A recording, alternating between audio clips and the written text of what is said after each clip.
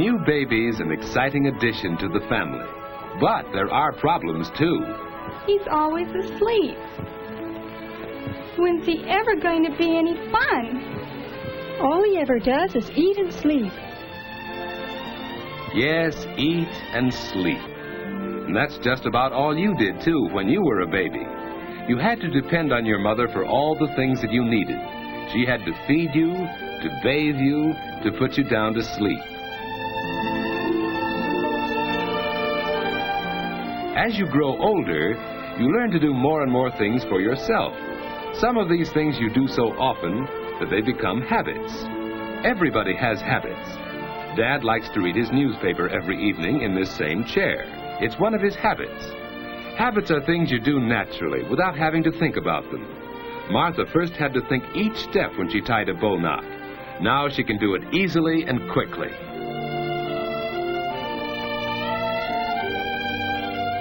Regular habits make daily living much easier since they help us do things without having to think about them. Some of the habits you learn now may stay with you all your life. All right, children. It's time to get ready for bed. I'm almost through with this chapter, Mother. It's time for bed, Susie. You go right to sleep now. Getting ready for bed at a regular time is one of the most important habits you can learn. A quiet hour or two before bedtime is part of this habit. It makes you feel relaxed and sleepy, ready for bed.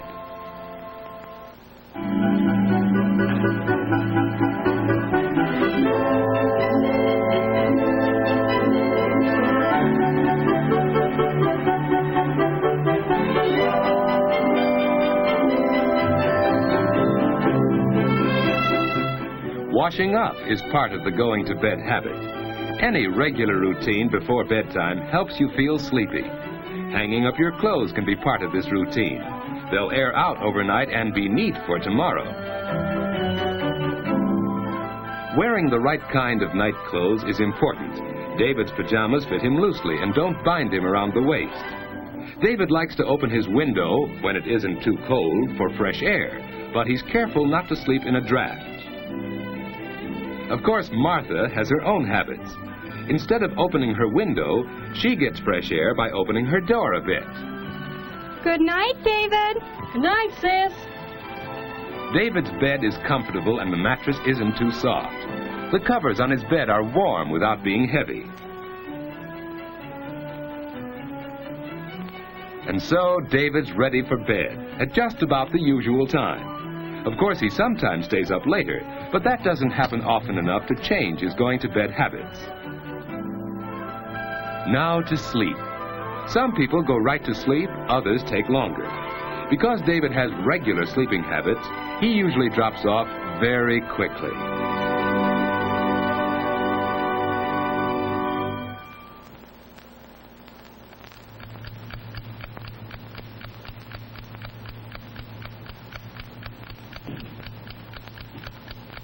David has probably never stopped to think what a wonderful thing sleep is. In sleep, the muscles of the body are relaxed. It's the most perfect way to relax that we have. Our breathing is slower and deeper when we sleep. The body's temperature is lower. Even the heart beats more slowly. The whole body is resting. To rest all our muscles, we turn in our sleep. Some people turn often, others not so often, but we all do it. It's a normal part of sound, healthy sleep. Dreams are normal too. Often they're suggested by things around us while we sleep.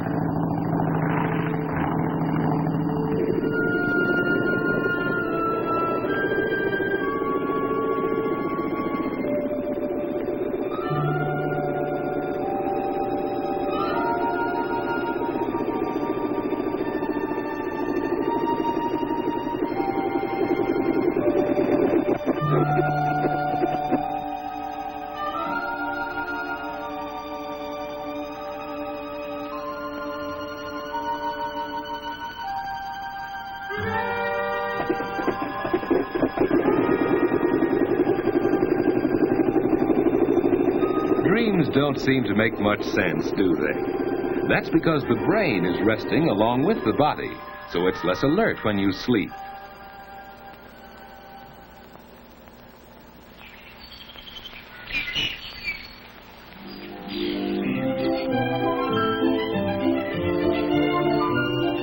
After a good night's sleep, you usually wake up easily and naturally.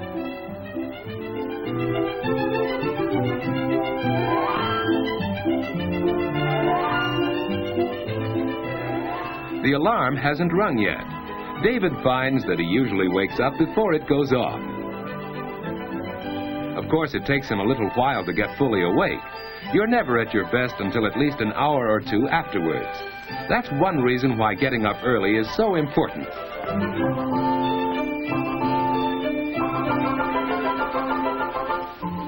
There's plenty of time for breakfast, too. Breakfast is an important meal that shouldn't be missed. If you usually go to bed early enough, you usually wake up early, too. You can start the day in a pleasant, unhurried way. It's more fun for you that way, and more fun for the rest of the family, too. David and Martha enjoy their mornings, and that helps them enjoy the whole day.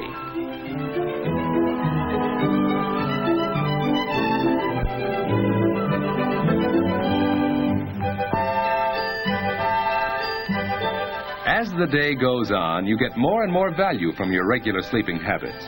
Plenty of sleep helps you to be bright and alert to the very end of the day. But what about bad sleeping habits? George just doesn't get enough sleep. And now in the afternoon, he's tired. It's hard for him to pay attention in class. When the teacher calls on him, George just can't seem to remember things that he really ought to know. George doesn't realize it, but his main trouble is bad sleeping habits. Last night, for instance. No, no, Muggsy. Don't rub me out. I didn't do it. Honest, I didn't. No rat's gonna squeal on me. You know too much, Limpy. You know I wouldn't sing, Muggsy.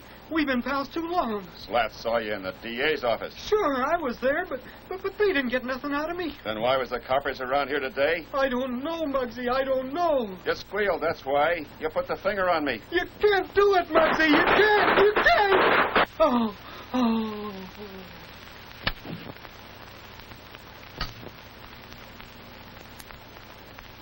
Yes, George has bad sleeping habits. And even when he finally does get into bed, he finds it hard to go to sleep. That's because he hasn't formed the habit of going to sleep at a regular time each night.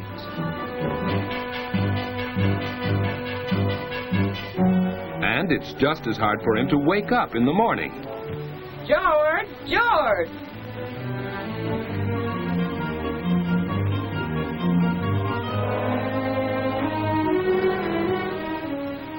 Get up, George. He's still tired because he hasn't had enough sleep.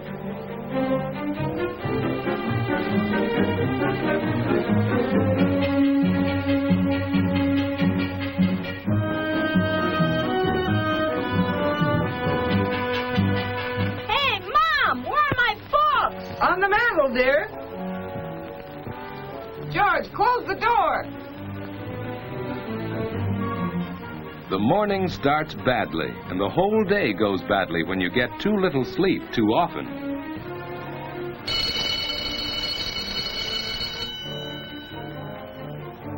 And even after class is over, you keep on paying the penalty for bad sleeping habits.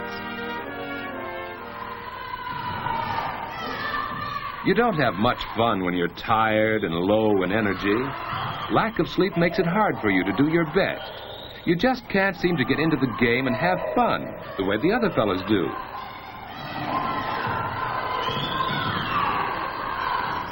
You're irritable and cross, hard to get along with. People don't like you, and you don't like yourself when you're like that. Probably neither David nor George realize how important their sleeping habits are to the way they enjoy their waking hours. Going to bed at a regular time each night makes it easier for you to go right off to sleep instead of lying awake long into the night. You wake up easily and naturally without having to be dragged out of bed. And most important, your day starts right and stays right. Both David and Martha have learned that good sleeping habits help you get the most out of everyday living.